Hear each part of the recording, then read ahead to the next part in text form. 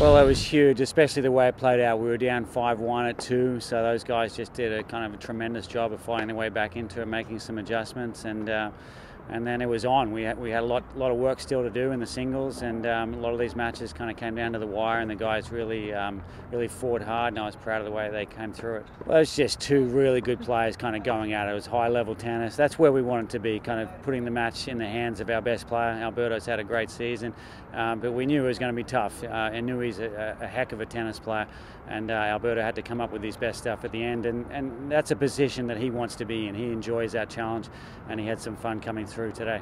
Um, I mean, nothing different. We just need to kind of prepare and just take care of the things that you know we can control, and uh, you know hit the ice ice tubs today and do some stretching. And uh, you know we played Memphis already this season. They, are having a really good season, uh, but we learned learned a few things that day, and we'll hopefully be able to make some adjustments, and it should be a good challenge.